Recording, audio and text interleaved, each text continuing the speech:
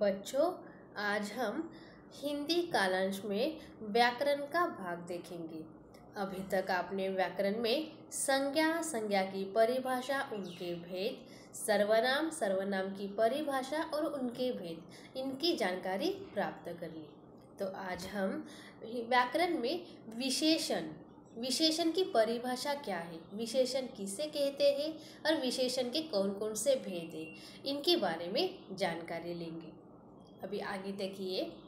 भाषा में कुछ शब्द ऐसे होते हैं जो संज्ञा या सर्वनाम शब्दों की विशेषता बताने का काम करते हैं। जैसे लाल सेब। इसमें लाल शब्द सेब के रंग संबंधी विशेषता बता रहा है कि सेब का रंग लाल है। देखिए, भाषा में कुछ ऐसे शब्द होते हैं जो संज्ञा या सर्वनाम यानी कि संज्ञा या सर्वनाम शब्दों की विशेषता बताने का जो कार्य करता है, जो काम करता है, वह विशेषण शब्द कहलाता है। जैसे यहाँ पर उदाहरण दिया है, लाल सेब। सेब यानी कि एप्पल। तो सेब का रंग जो है वो लाल है। तो यहाँ पर सेब के रंग संबंधी जो विशेषता बता रहा है कि सेब का रंग लाल होता है। रंग, यहाँ पर लाल जो है वो रंग का नाम है और सेब जो है वो संज्ञा है। तो यह सेब यानी संज्ञा के बारे में विशेष जानकारी देने वाला ये लाल रंग का यानी लाल शब्द है, वह होता है विशेषण। क्योंकि वो सेब की विशेषता बता रहा है कि वो कौन से रंग का है। आगे देखिए, निम्नलिखित उदाहरण देखिए। यहाँ पर मैंने उदाहरण दिए हैं। पहला है, राम को कच्चे अमृत चाहिए। दूसरा उदाहरण है, मुझे थोड़ी चीनी चाहिए। तीसरा उदाहरण है, मैदान में तीन लड़के खड़े हैं। अभी इन वाक्यों में कच्चे, थोड़ी और तीन। ये शब्द जो है, वह अपनी अपनी संज्ञाओं के गुण, मात्रा, संख्या आदि से संबंधित विशेषताएँ बता रहे हैं और यही शब्द विशेषण होते हैं। जैसे पहले उदाहरण में देखिए, राम को कच्चे अमृत चाहिए। राम को अमृत कैसे चाहिए? तो कच्चे, यानी अमरूद के बारे में विशेष जानकारी शब्द देता है कच्चे। तो यह क्या है? अमरूद की विशेषता बताने वाला शब्द है कच्चे। दूसरे उदाहरण में, मुझे थोड़ी चीनी चाहिए। कितनी चीनी चाहिए? तो थोड़ी ज़्यादा या तो थोड़ी चाहिए। तो चीनी के बारे में थोड़ी शब्द जो है, वह विशेषता चीनी के बारे में बता रहा है। थोड़ी चीनी। तीसरा उदाहरण है, मैदान में तीन लड़के खड़े हैं। कितने लड़के खड़े हैं? तो तीन लड़के। लड़कियों की संख्या यहाँ पर तीन बताई है। तो यह तीन जो शब्द है वो लड़कों के बारे में विशेषता बता रहा है। कि यहाँ वहाँ तीन लड़के खड़े हैं। तो इस तरह से कच्चे, थोड़ी, तीन, यह शब्द अपने अपने संज्ञाओं के गुण, कच्चा, पक्का, ये जो गुण है, मात्रा, यानी कि क्वांटिटी कितने, यानी कि यहाँ पर तीसरे उदाहरण में बताया था कि तीन लड़के वैसे संख्या, यानी कि तीन, चार, पाँच, जो भी संख्या नंबर जिसे हम कहते हैं, उनके बारे में संबंधित विशेषता बताते हैं वही शब्द होते हैं विशेषण, जैसे कच्चे, थोड़ी और तीन। ये संज्ञा के बारे में विशेषता बता रहे हैं शब्द, इसलिए हम उसे विशेषण कहते हैं। आगे देखिए, विशेषण की परिभाषा क्या है? संज्ञा या सर्वनाम की विशेषता बताने वाले शब्दों को विशेषण कहते हैं। फिर से मैं दोहराती हूँ। संज्ञा या सर्वनाम की विशेषता बताने वाले शब्दों को हम विशेषण कहते हैं। जैसे गेंद गोल है। गेंद, जो कि हम उसे बॉल कहते हैं, वो गोल है। तो गेंद के बारे में गुण बताया है। तो गेंद क्या है? गोल। गोल ये आकार से हम लोग उसे गोल कहते हैं। तो गेंद के बारे में जो गोल शब्द है, वो विशेषता बता रहा है कि वो गेंद कैसी है। तो गेंद गोल है। दूसरा उदाहरण है लड़की सुंदर है।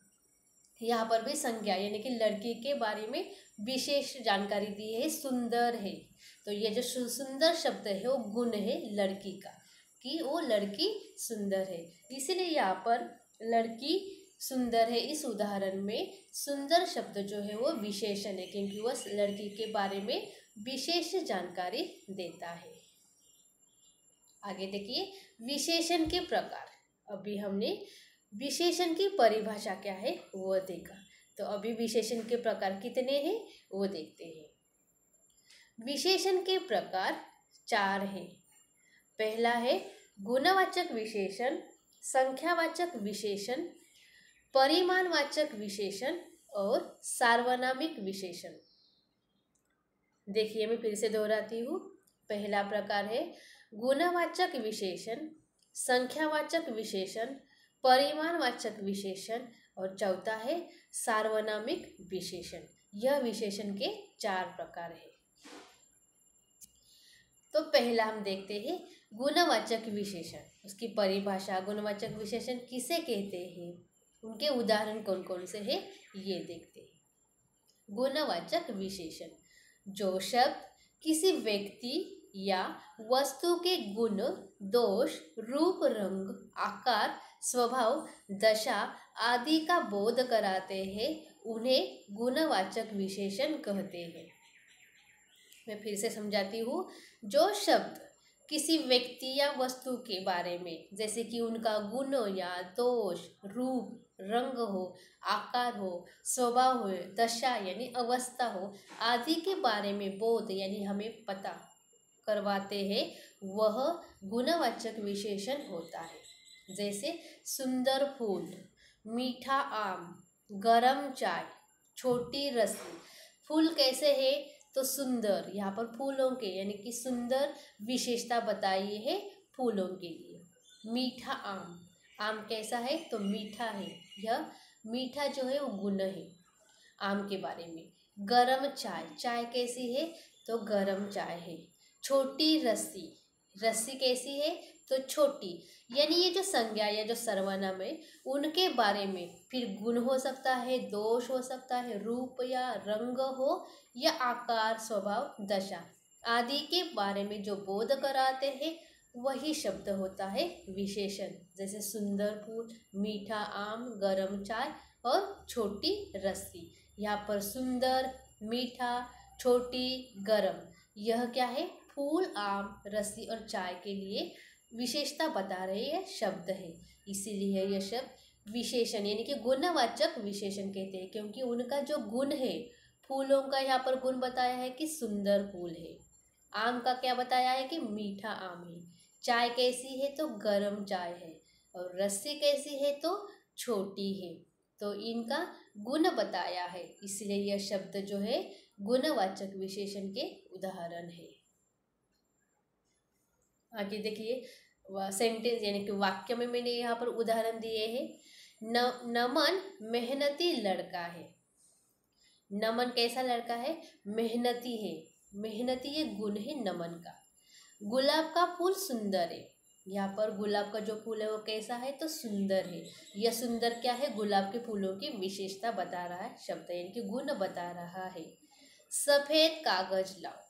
कैसे कागज़ लाना है? तो सफ़ेद। कागज़ के बारे में, यानी सफ़ेद जो रंग है, वह कागज़ की विशेषता बता रहा है। मुझे ठंडी चाय पसंद नहीं है। कौन सी चाय पसंद नहीं है मुझे? यहाँ पर ठंडी लिखा है, यानी चाय का जो गुण है, ठंडी, यह विशेषण, विशेषता बता रहा है ठंडी चाय के बारे में।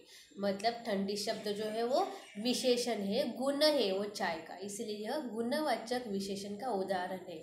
नमन मेहनती लड़का है, गुलाब का फूल सुंदर है, सफ़ेद कागज़ लाओ, मुझे ठंडी चाय पसंद नहीं है।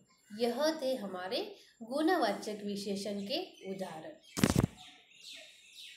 दूसरा प्रकार, अभी विशेषण का दूसरा प्रकार है हमारा संख्यावाचक विशेषण। जैसे पहला गुणवाचक देखा तो हमने वहाँ पर देखा कि कोई व्यक्ति या कोई वस्तु के बारे में, जैसे आकार, रूप, रंग, अवस्था, गुण, उनके बारे में विशेष जानकारी देने वाला शब्द होता है गुणवाचक विशेषण। और यहाँ पर संख्यावाचक विशेषण में क्या होता है तो जिस विशेषण से वस्तु की संख्या का पता चले, उसे संख्यावाचक विशेषण कहते हैं। संख्या यानी कि नंबर।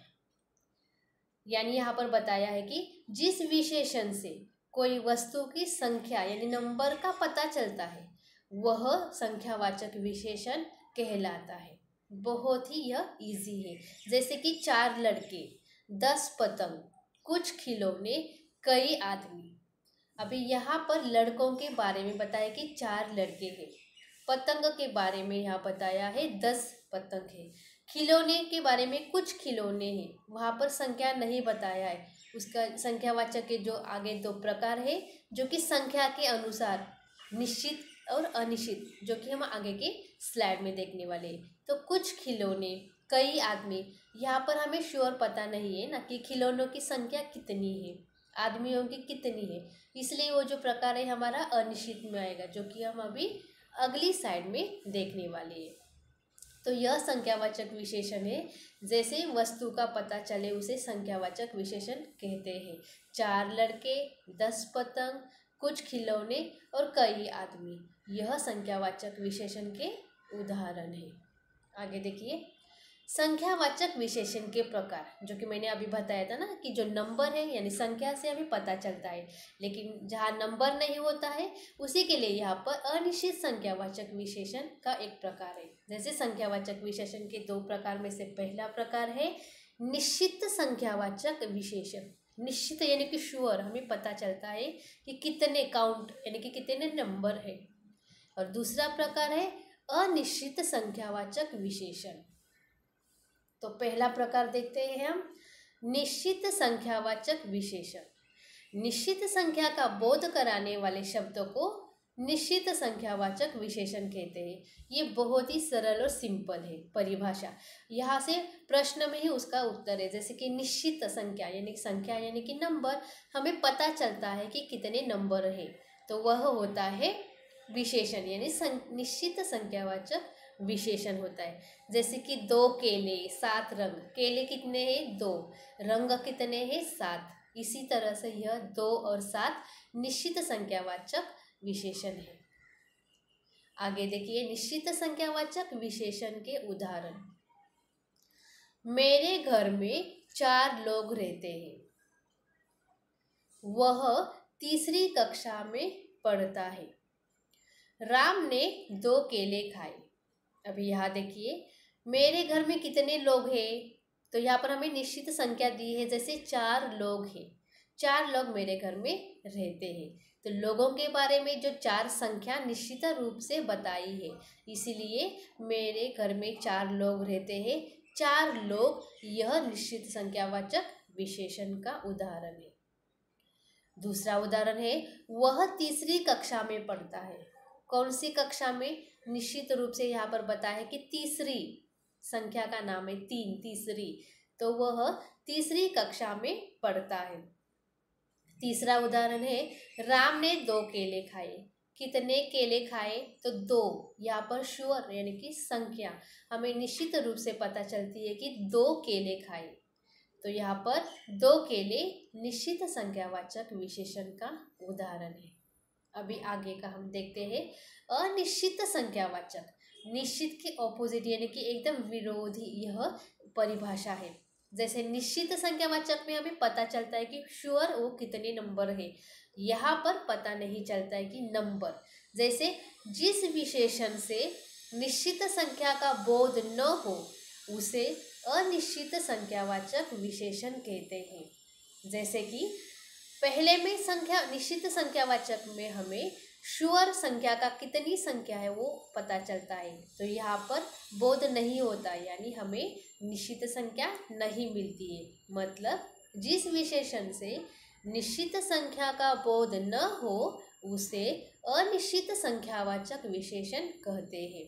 जैसे कि कुछ खिलौने, कई लड़के, खिलौनों का यहाँ पर संख्या नहीं दी है कि कितने खिलौने थे। कुछ खिलौने हैं मतलब श्योर निश्चित पता नहीं कि कितनी संख्याओं में इसलिए यहाँ पर है, कुछ खिलौने यह अनिश्चित संख्यावाचक है। कई लड़के, पता नहीं कि कितने टोटल लड़के थे नंबर पता नहीं है। इसलिए यहाँ पर कई लड़के, कई क्या है, अनिश्चित संख्यावाचक विशेषण का उदाहरण है। लड़कों की संख्या यहाँ पर निश्चित रूप से नहीं पता है। इसलिए कई लड़के हम लोग कह सकते हैं। जैसे कि कई लड़के कुछ खिलौने यह क्या है? अनिश्चित संख्यावाचक विशेषण है।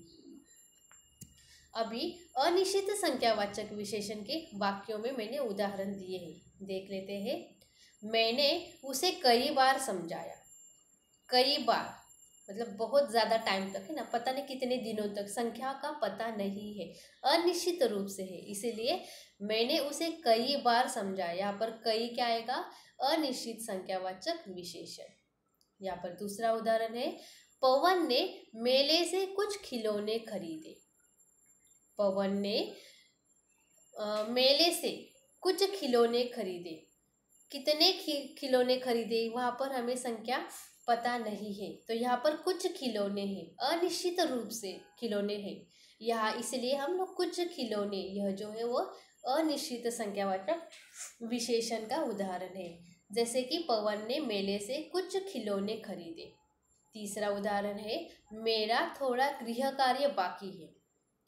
एक, दो, तीन गृह कार्य, जिस तरह से हम संख्यावाचक में कह सकते हैं संख्या का नाम तो यहाँ पर अनिश्चित संख्यावाचक में संख्या का पता नहीं चलता, इसीलिए तो हम उसे अनिश्चित संख्यावाचक कहते हैं। जैसे ये उदाहरण है, मेरा थोड़ा गृह कार्य बाकी है। थोड़ा, यानी कि कम, ज़्यादा या जो भी है, यह अनिश्चित रूप से बता रहे थोड़ा सा गृह कार्य मेरा बाकी है। थोड़ा यह क्या है? अनिश्चित संख्यावाचक विशेषण का उदाहरण है। निश्चित यानी कि श्योर पता चलता है संख्या का नाम, और अनिश्चित यानी कि संख्या पता नहीं चलती है। निश्चित रूप से नहीं होती है, इसलिए तो उसे हम अनिश्चित संख्यावाचक विशेषण कहते हैं। तो अभी विशेषण के चार जो प्रकार थे उसमें से हमने पहला देखा गुणवाचक विशेषण और दूसरा देखा संख्यावाचक विशेषण। संख्यावाचक विशेषण के हमने दो प्रकार देखे। पहला है निश्चित संख्यावाचक और दूसरा प्रकार था अनिश्चित संख्यावाचक विशेषण। और आगे के जो विशेषण के दो प्रकार है, वह हम अगले कालांश में देख लेंगे। तो मुझे अभी आशा है कि मैंने जो आपको ये दो प्रकार जो सिखाए हैं, गुणवाचक विशेषण दूसरा प्रकार था संख्यावाचक विशेषण। संख्यावाचक विशेषण के दो उप प्रकार है, निश्चित गुण संख्यावाचक विशेषण और अनिश्चित संख्यावाचक विशेषण। यह प्रकार आपको अच्छे से समझ में आए होंगे, उनकी परिभाषा, उनके उदाहरण, यह आपको अच्छे से इनके बारे में जानकारी मिली होगी। यह मैं आशा करती हूँ। धन्यवाद।